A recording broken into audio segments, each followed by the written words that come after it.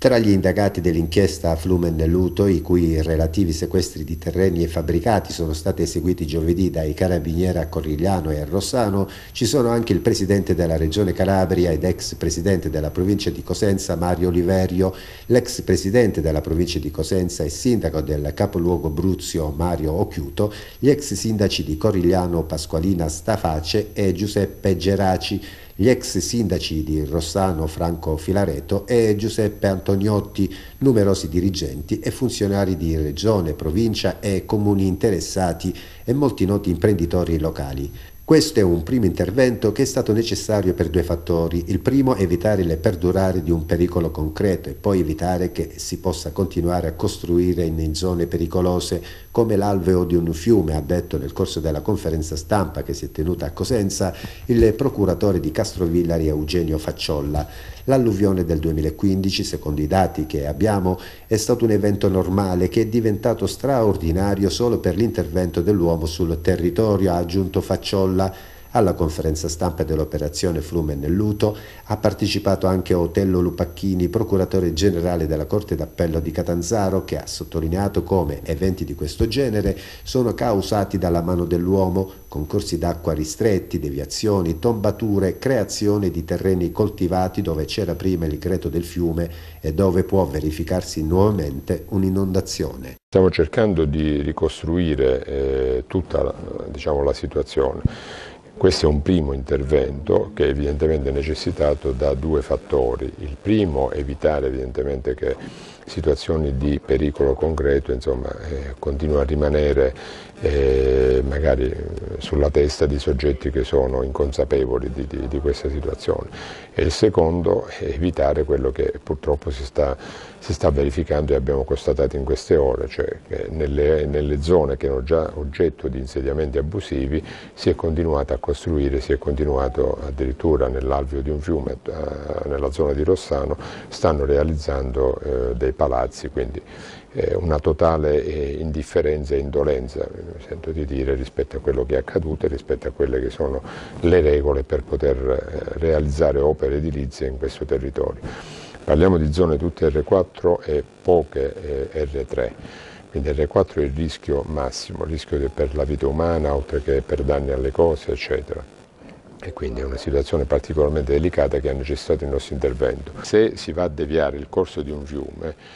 eh, creando una sorta di curva artificiale dove il fiume addirittura dovrebbe risalire e poi andare a incanalarsi chilometri più avanti in un altro torrente, quando il suo corso naturale doveva, essere, doveva sfociare a mare, evidentemente c'è qualcosa che eh, ha determinato questa modifica. E se poi andiamo a vedere che cosa c'è su quel tratto di fiume dove è stata realizzata la deviazione, eh, 2 più 2 fa 4, quindi chiaro stiamo lavorando in quella direzione.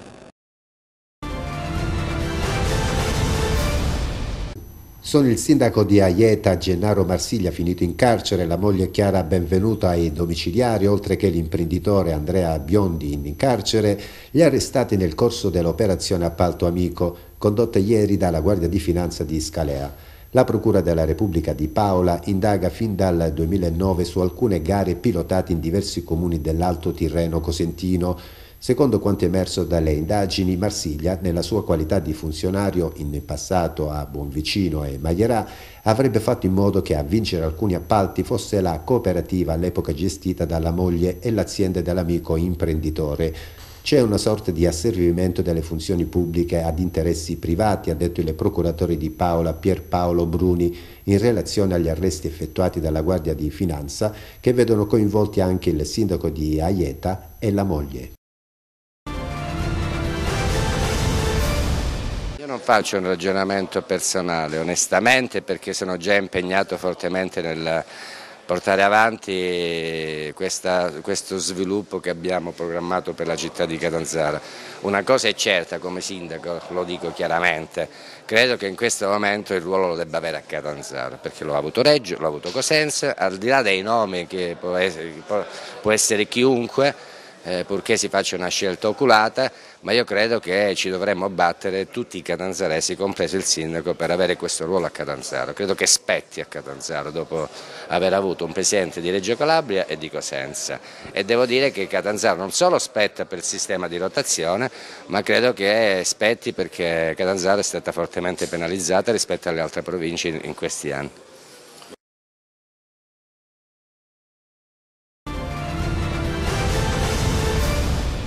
Sono 1847 i campionamenti effettuati dai tecnici dei servizi acque dei dipartimenti provinciali dell'Arpacal in questo primo trimestre di campagna di balneazione 2018 e 3694 sono le determinazioni microbiologiche ottenute analizzando i due parametri previsti dalla normativa di settore. Di questo corposo numero di campioni prelevati, solo 27, cioè circa il 2% del totale, sono risultati non conformi ai valori limite previsti dalla normativa vigente. Per un tratto di costa, quello vibonese nello specifico, i prelievi di campioni sono stati sospesi sino a lunedì prossimo a causa delle avverse condizioni meteo che hanno interessato nei giorni scorsi quell'area. È questo un primo bilancio delle attività che l'ARPACAL sta svolgendo per la consueta campagna annuale di monitoraggio delle acque di balneazione che ha avuto inizio ad aprile e si concluderà a settembre. Catanzaro si sta dimostrando nei fatti il capoluogo della Calabria, lo ha detto il sindaco di Catanzaro Sergio Abramo nella conferenza stampa di presentazione del bilancio del primo anno del suo quarto mandato alla guida del comune. Oggi, ha spiegato Abramo, presentiamo tutta la programmazione che abbiamo messo in campo, una programmazione a tutto campo che va dai trasporti all'ambiente, dal sistema scolastico all'impiantistica sportiva, per arrivare alla cultura, tutto finalizzato alla città del futuro perché appena saranno realizzate tutte le opere, Catanzaro cambierà completamente volto, una programmazione importante che non sarà facile completare in quattro anni, ma, proseguito Abramo, siamo già in vantaggio perché molte opere sono state già appaltate Penso al sistema metropolitano di superficie o all'impianto tecnologico di Alli che permetterà di non avere problemi nella gestione dei rifiuti. Tra le programmazioni citate dal sindaco Abramo nell'incontro con i giornalisti spiccano l'accordo di programma per 32 milioni siglato dal comune con la regione per il sistema dei parcheggi e della mobilità in città, con particolare attenzione al centro storico, il progetto Agenda Urbana per altri 32 milioni, il finanziamento per l'ammodernamento degli autobus cittadini il recupero di importanti edifici storici per un loro riutilizzo anche a fini sociali e culturali, gli investimenti per il completamento, il rilancio e la valorizzazione del porto di Lido ed il bando per lo sviluppo in chiave turistica dell'area di Giovino. Ascoltiamo Abramo ai nostri microfoni. Oggi il sindaco di Catanzaro presenta i risultati e soprattutto uno sguardo verso il futuro. Sindaco, intanto partiamo da ciò che è stato fatto durante questo primo anno di lavoro. Dice bene soprattutto uno sguardo al futuro perché oggi non presenteremo le attività dei singoli assessorati, perché quello diciamo, è normale amministrazione, ma presenteremo tutta la programmazione che siamo riusciti a fare in questo anno di lavoro. È una programmazione che ha 360 gradi, che parte dal sistema dei trasporti eh, alla questione dell'ambiente, eh, al sistema scolastico, all'impiantistica sportiva, a quella che definisco una città del futuro, perché credo che appena saranno realizzate tutte queste opere Catanzaro cambierà completamente volto. Quindi credo che sia stato importante fare questa programmazione, sarà più difficile magari seguirla per completarla entro i quattro anni, però siamo già in vantaggio perché moltissime cose sono state già appaltate, come per esempio la metropolitana di superficie o l'impianto, la discarica, l'impianto tecnologico di Alle che permetterà alla città di non avere più problemi sul sistema dei rifiuti. Però siamo avanti sulla programmazione e oggi vogliamo mettere un punto fermo che Catanzaro è il vero capoluogo della Calabria perché lo ha dimostrato anche nei fatti, nella programmazione, perché alcuni settori che non sono stati toccati dagli altri comuni capoluoghi di provincia, Catanzaro invece è riuscito a fare una programmazione, come dicevo prima, a 360 gradi. Ci stiamo occupando anche di materie che non riguarderebbero solo il comune di Catanzaro, ma tutti i comuni della Calabria. Ci sono sempre resistenze al cambiamento ma ormai nessuno può tirarsi indietro perché altrimenti sarebbero accusati di aver affossato la sanità catanzarese. Lo ha affermato ai nostri microfoni il sindaco di Catanzaro Sergio Abramo con riferimento al progetto di creazione dell'azienda ospedaliera unica della città attraverso l'integrazione dell'azienda pugliese del Policlinico Universitario Mater Domini. Ai microfoni di RTC Abramo ha chiarito, il polo sanitario è uno dei programmi più importanti della nostra azione, da lunedì mi rimetterò a lavorare, non concederò più tempo a nessuno, né ai nostri consiglieri regionali né al Presidente della Giunta regionale. Questa parte verrà presentata oggi da me in questa conferenza stampa e credo che sia una delle cose più importanti insieme anche al sistema dei trasporti, perché credo che la città possa crescere fortemente per quanto riguarda il polo sanitario che abbiamo in mente di portare avanti e subito dopo questa conferenza stampa da lunedì mi metterò a lavorare perché non concederò più tempi a nessuno onestamente, né ai nostri consigli regionali né al Presidente della Giunta regionale perché questo per noi è la vera strategia di una città che vuole essere a vocazione eh, di città di, diciamo, di cittadella sanitaria e della ricerca scientifica, quindi è talmente importante questo settore per la nostra città che non permetterà a nessuno di giocare.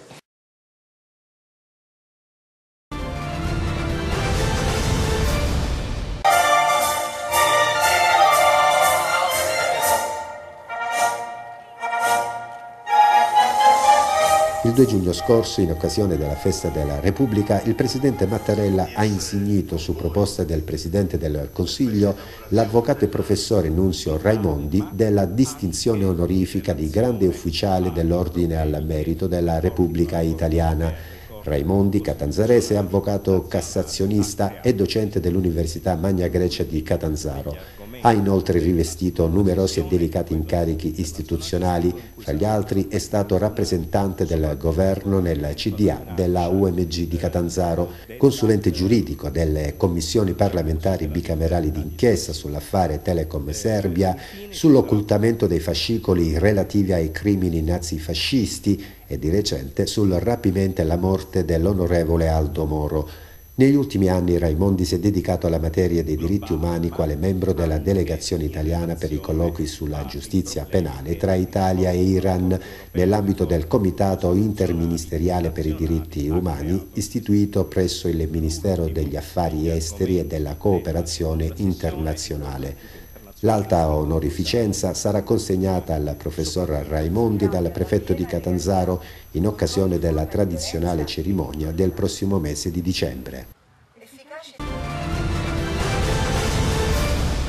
Un ricorso davanti al Tribunale amministrativo regionale della Calabria contro l'estensione delle strisce blu decisa dal comune di Catanzaro in altre zone del centro cittadino, tra le quali il quartiere San Leonardo, è stato presentato dalla Codacons e da alcuni operatori commerciali e residenti. Nel ricorso, proposto per il tramite degli avvocati Francesco Pitero e Francesco Di Lieto e detto in un comunicato, vengono censurati gli atti comunali, mancando gli elementi essenziali per l'adozione di provvedimenti che sono immediatamente lesivi, restrittivi e vessatori. Più precisamente nel testo viene evidenziato che il centro della città, che è già spopolato e desertificato, non può permettersi altre strisce blu che determineranno un ulteriore spopolamento con conseguente inevitabile ulteriore impoverimento.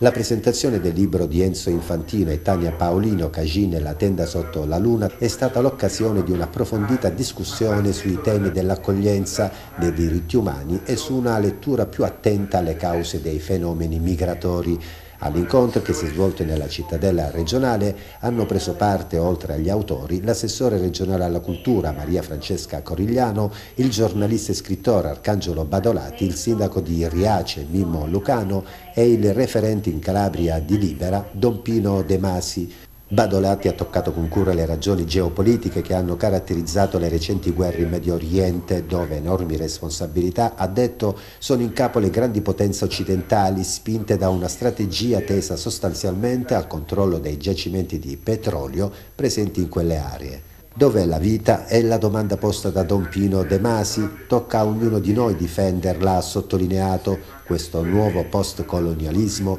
si preoccupa solo degli arrivi delle persone che fuggono dalle guerre, ma non delle cause all'origine dei fenomeni. In tutto ciò c'è la miseria umana di quegli stati che hanno reso possibile che nel nostro mare giacciano più di 40.000 morti negli ultimi 15 anni.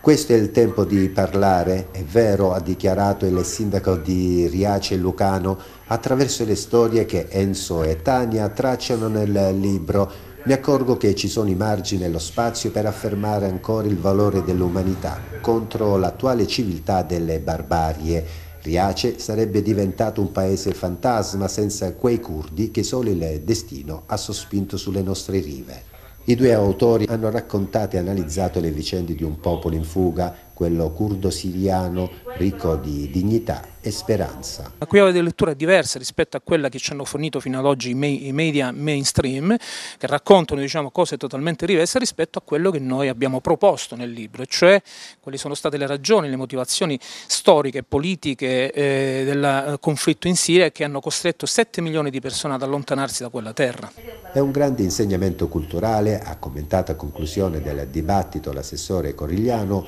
quello che trasmette il messaggio del libro, una testimonianza positiva che mette in luce i controsensi del nostro vivere quotidiano. Con il Presidente Oliverio invece vogliamo essere attenti alla questione dell'accoglienza e vicini al modello Riace. Partenze e ritorni, incontri e luoghi, radici ed ali. C'è questo e tanto altro nel libro Chicchi di viaggio di Daniele Rossi, un viaggio tra parole e immagini scandito da appunti scritti in aeroporto e istantanee che cristallizzano emozioni e sensazioni. Daniele Rossi, giovane presidente della Camera di Commercio di Confindustria Catanzaro, ha presentato ieri nel complesso monumentale del San Giovanni a Catanzaro questa sua prima opera nata dall'esigenza di raccontare e condividere il suo vissuto di uomo, di imprenditore, di padre, di osservatore osservatore attento ed appassionato, amante dei viaggi e soprattutto della vita. E proprio di vita parla Chicchi di Viaggio, il diario di un uomo curioso e sensibile che gira il mondo per passione e per lavoro, ma che poi torna sempre a casa dalla sua amata famiglia e nella sua terra, la Calabria. Sì, un viaggio della vita. Un viaggio della vita chiaramente ci sono dei luoghi come il Vietnam e come l'India che hanno, mi hanno lasciato tanto, sono degli appunti davvero dei chicchi, dei chicchi di appunti che ho, ho, ho scritto durante i voli intercontinentali, ho messo insieme, aiutato anche da molte fotografie. C'è molta emozione in questo libro perché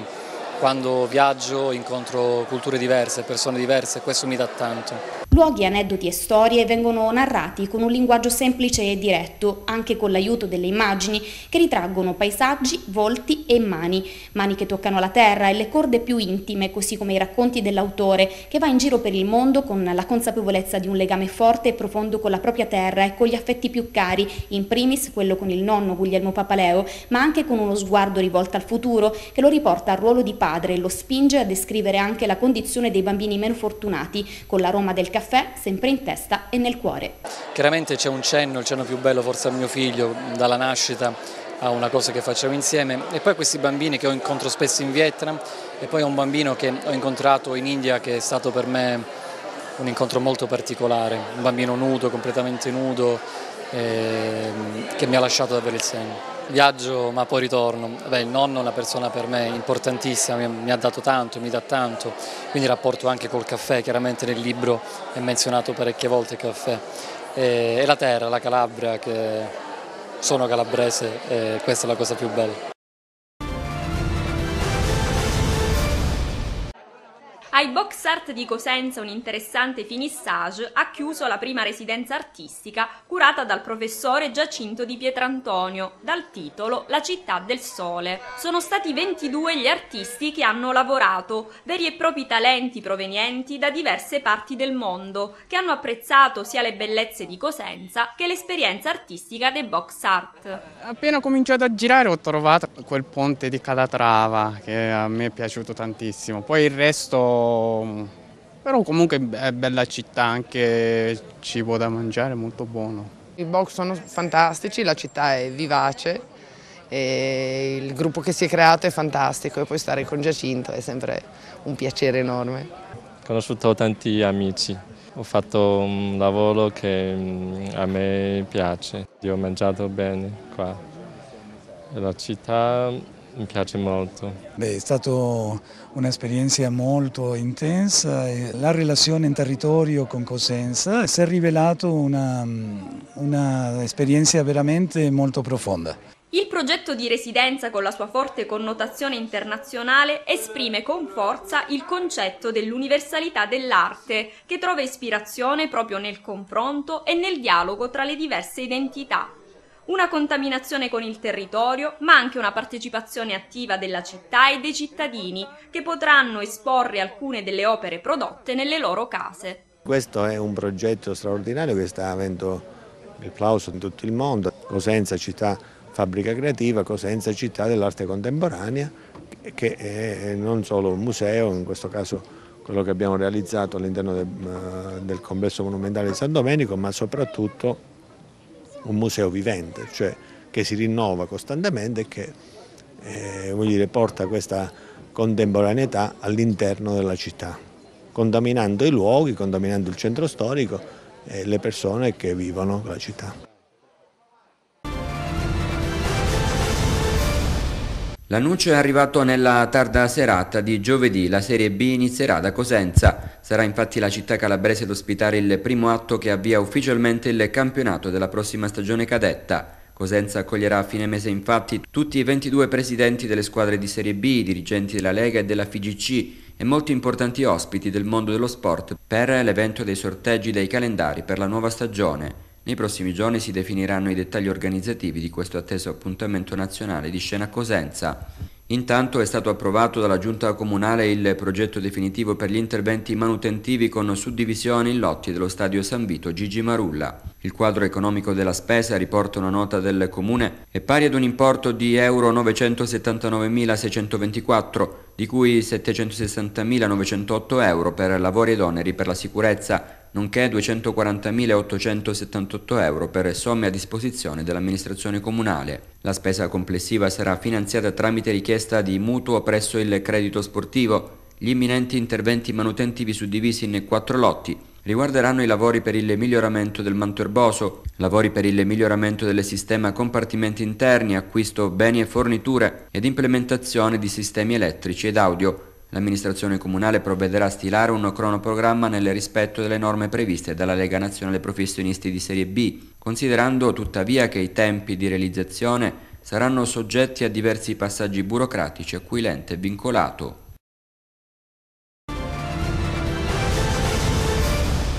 La società US Catanzaro ha reso noto nella serata di giovedì di aver portato a termine un'operazione di mercato in uscita con la cessione del terzino Francesco De Giorgi che viene trasferito a titolo definitivo alla Viterbese. A De Giorgi, che ha vestito la maglia del Catanzaro a partire da gennaio, va il ringraziamento del club di Noto per il suo impegno e gli auguri per il futuro personale e professionale.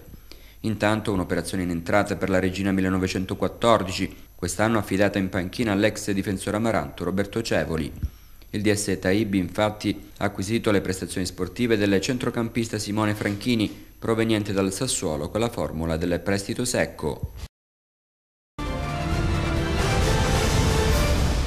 Oggi parliamo di calciomercato anche per quanto riguarda le categorie inferiori, quelle dilettantistiche, nello specifico il campionato di eccellenza calabrese. Si muove bene la SD Corigliano Calabro, rotto il ghiaccio con l'arrivo del difensore Cassaro, la società ionica prosegue il rafforzamento dell'organico tecnico. Nelle ultime ore infatti ha ufficializzato anche il centrocampista Giovanni Biondo, classe 91, proveniente dalla compagine siciliana dell'Igea Virtus con la quale ha disputato le ultime due stagioni di Serie D Girone I e precedentemente sempre con i messinesi anche due annate di eccellenza sicula. In totale nei quattro tornei con la squadra di Barcellona Pozzo di Gotto Biondo ha segnato ben 19 reti mentre in carriera ha vestito le maglie di Tiger Brolo, Mazzara, Acragas, Noto e Due Torri e sempre tra eccellenze e Serie D. Arriva quindi un nuovo e valido tassello per il centrocampo coriglianese. Biondo offrirà certamente il suo valido contributo al reparto della formazione ionica. Guarda, le impressioni sono ottime già dal primo incontro che ho avuto col Presidente, mi ha dato subito dimostrazione di un grande progetto eh, dove ci sono stato pochissimo a prendere una decisione che penso sia stata quella giusta e, e per andare a affrontare un nuovo campionato. È un importante, un importante campionato dove dovremmo realizzare gli obiettivi che ci impone la società. Ah, ti ripeto, un campionato importante. Ti, ti, dico non conosco bene il campionato, però ci sarà il tempo per conoscerlo, ambientarsi e, e affrontare una bella stagione. Il Corigliano dimostra di aver approcciato molto bene la nuova stagione nella quale intende senz'altro vestire i panni di protagonista. Sì, mm. Giovanni è un giocatore che proviene dall'Igea Virtus, l'anno scorso ha fatto un ottimo campionato sia come squadra che come lui singolarmente. È un ragazzo che effettivamente nell'arco degli anni addietro ha dimostrato tutto il suo valore, vincendo anche un campionato di eccellenza in Sicilia. Chiaramente una allestendo una squadra importante siamo andati a cercare, come le dicevo nelle varie interviste, grazie al direttore Caramenici che ha fatto un lavoro certosino, giocatori di spessore, di valore soprattutto uomini, perché noi abbiamo fatto una scelta importante, prima gli uomini e poi il calciatore. Sicuramente un tassello importante per tutto il reparto centrale, è un giocatore di qualità che eh, può darci una grossa mano sotto l'aspetto appunto qualitativo ma anche quantitativo, è uno che conosco bene, l'ho visto già in passato nei campionati, siamo stati pure avversari è un ragazzo che non si risparmia, quindi da lui ci aspettiamo molto e spero che si possa ambientare subito e iniziare subito come lo conosciamo noi.